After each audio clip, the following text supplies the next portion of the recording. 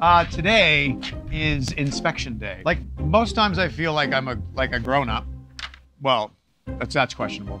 I feel like it's I'm going back to see the principal, and it could go really well. We always normally have glowing, glowing, you know, feedback from inspectors. Yeah, for all we know, we can go back there. and He's going to praise us, or we're going to go back there, and he's going to have a rubber glove on and just, you know, I think I'm gonna get undressed now. Let's go. we'll let you know how it goes. Oh God.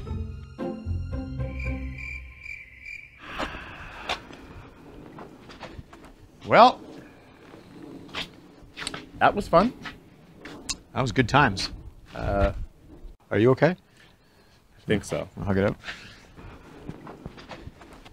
Just put the camera on it.